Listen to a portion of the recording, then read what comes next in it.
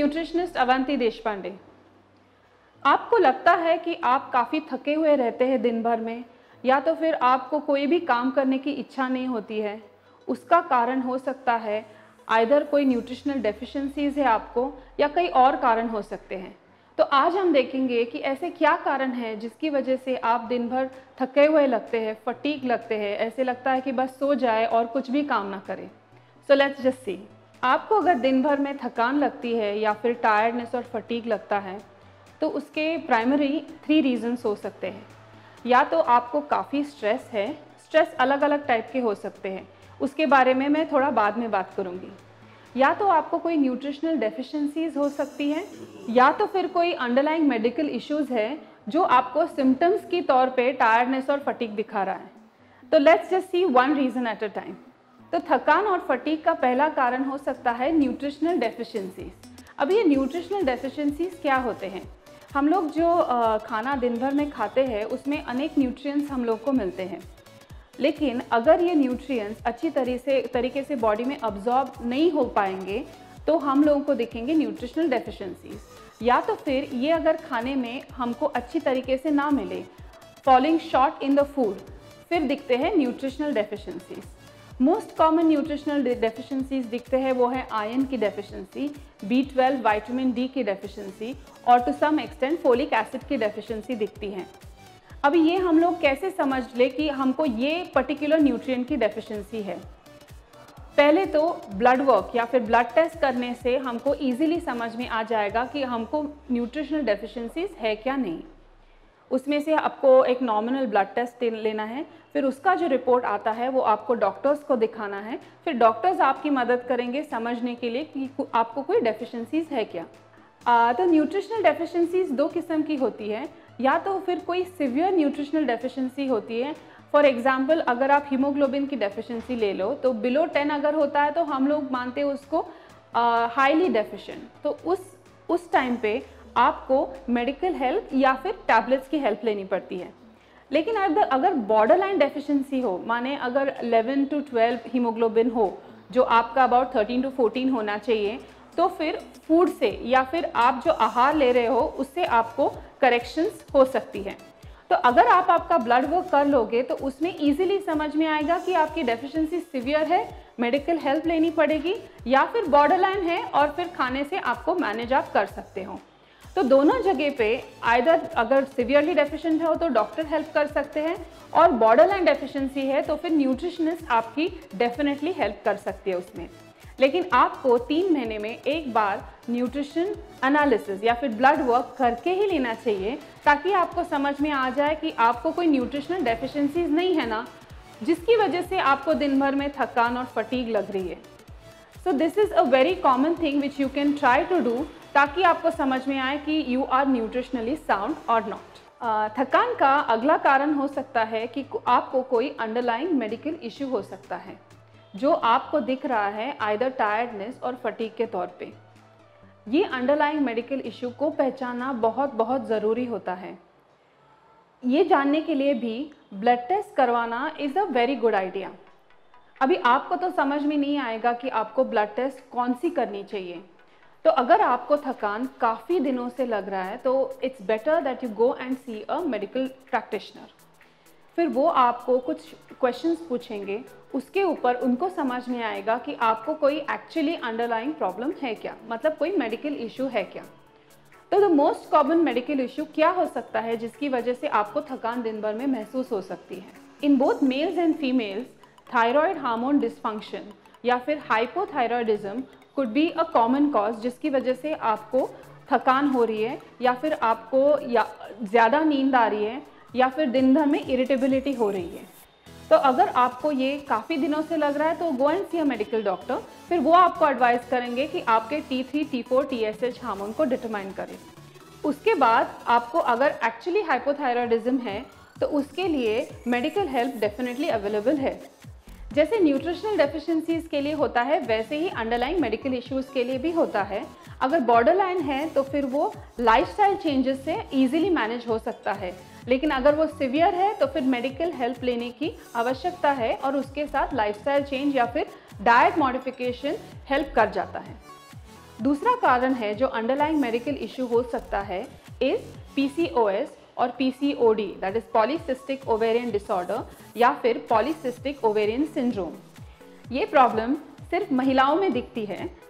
I have made a detail video about PCOS and PCOD you can see it in the link which is given above पूरी आपको जानकारी, जो कुछ भी symptoms है PCOS के, उस किस वजह से हो सकती है और फ़ूड के द्वारा उसको कैसे करेक्ट कर सकते हैं, ये पूरा का पूरा वीडियो इसमें दिया हुआ है। ज़रूर देख लेना। The third reason why you could be feeling tired और fatigue in the day is type two diabetes this you'll understand by actually getting a blood work done random sugar से पहले ही नज़र आता है कि आपको आपके शुगर लेवल्स चेंज हुए हैं क्या? The best way to diagnose if you are a pre diabetic और then if you could be expose to diabetes is by getting a blood work done पहले तो हम लोग रैंडम शुगर एस्टिमेट कर लेते हैं। फिर अगर उसमें कोई चेंजेस दिखते हैं, या तो फिर सेकेंड वे होता है कि आप अपना पीपी या फिर फास्टिंग शुगर कर लो। लेकिन बेस्ट मेजर जो है, वो है H B one A C which is a cumulative reading of three months उसमें अगर दिखता है कि आपकी शुगर रीडिंग हाई आ रही है तो या तो आप प्री डायबिटिक हो सकते हो, या फिर आपको एक्चुअली डायबिटीज़ है, जिसकी वजह से थकान भी लगती है। तो ये आपको डॉक्टर की हेल्प से समझ में आएगा कि आप अफेक्टेड हो कि नहीं। फिर उसके हिसाब से आप मेडिसिन शुरू करते हैं, आप लाइफस्टाइल भी चेंज कर सकते हैं। अगर आप प्री डायबिटिक हो और अगर फिर भी आपको बॉर्डर लाइन डायबिटीज़ है तो आपको शायद मेडिसिन की ज़रूरत नहीं पड़ेगी। डाइट मॉडिफिकेशन या फिर लाइफस्टाइल मॉडिफिकेशन से भी आप डायबिटीज़ को रिवर्स कर सकते हैं। लेकिन ये जानना बहुत ज़रूरी है कि आपका ब्लड वर्क क्या कहता है फिर उसके ऊपर ही आप इलाज कर सकते हो।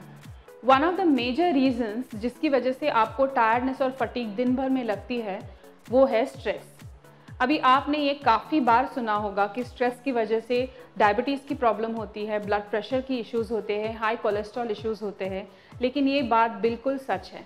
अभी मैं आपको समझाऊँगी कि ये ऐसे क्यों होता है।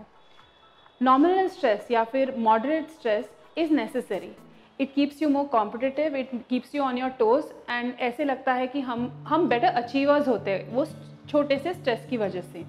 लेकिन आजकल की लाइफस्टाइल की वजह से हम काफ़ी सेडेंट्री होते जा रहे हैं वर्क का स्ट्रेस काफ़ी होता जा रहा है।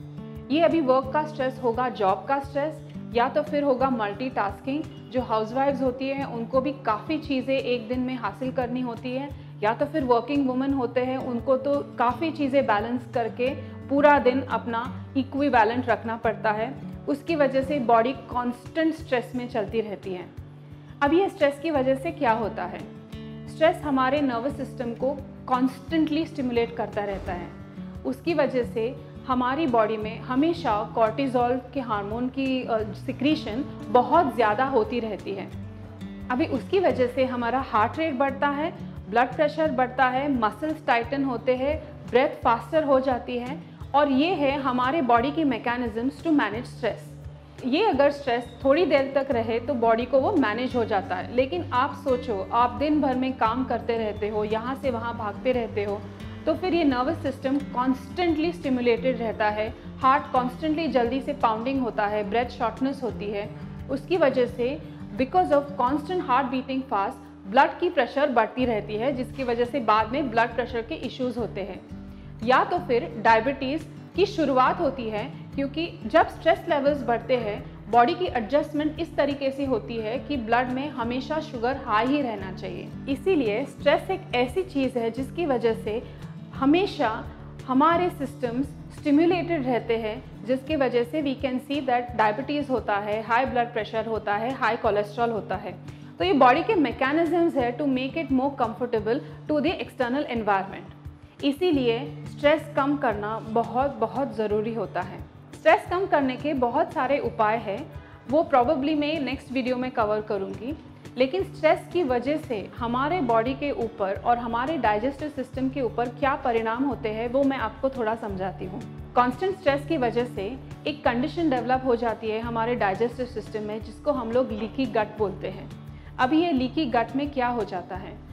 हमारा जो स्मॉल इंटेस्टाइन है, वो टॉक्सिन्स बॉडी के बाहर निकाल देता है, या फिर अनडाइजेस्टेड फ़ूड मटेरियल जो है, वो स्मॉल इंटेस्टाइन से लार्ज इंटेस्टाइन में जाता है।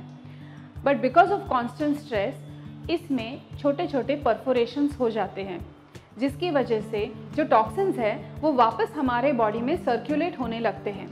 उसकी वजह से हमारा ऑटो इम्यून सिस्टम पूरी तरीके से डिसफंक्शन हो जाता है and then we see a condition which is known as inflammation so stress can lead to leaky gut and leaky gut can lead to inflammation and this is all related to you feeling tired and fatigued in the day, along with having a lot of digestive issues.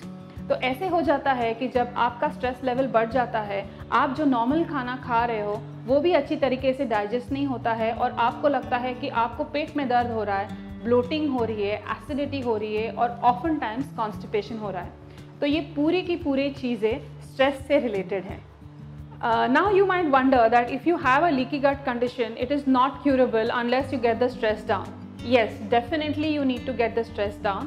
लेकिन आहार change करने से या फिर आप अगर आहार में कोई मिस बैलेंस कर रहे हो कोई चीज़ें कोई जंक फ़ूड ज़्यादा खा रहे हो कार्बोहाइड्रेट्स या फिर फैट्स का प्रमाण ज़्यादा है वो अगर कम करके आप फ्रूट्स वेजिटेबल्स और प्रोटीन फ़ूड इंक्रीज करते हो एक्सरसाइज आपके डेली रूटीन में डालते हो बैलेंस डाइट या फिर सात्विक आहार कंज्यूम करने की कोशिश करते हो तो डेफिनेटली लीकी गट सिम्टम और लीकी गट सिंड्रोम मैनेज हो सकता है। So hope you like this video and you understood कि अगर आपको दिन भर में थकान या फिर टायर्डनेस लग रही है तो उसके कारण क्या हो सकते हैं।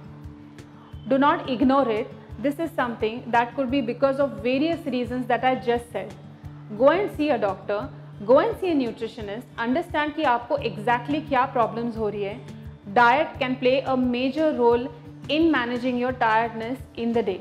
So to conclude, if you're feeling tired and fatigued in the day, there could be several reasons to it. One could be underlying deficiencies, the second could be underlying medical problems and the third is stress. Hope you will be seeing a doctor soon if you are experiencing anything of this so that you can cure it on time. I hope you like this video. Do subscribe to our channel. If you want to know on any other health topics, you can write in to us at avanti at avantideshpande.com or on the numbers that are given below. We'll be happy to help you. See you soon.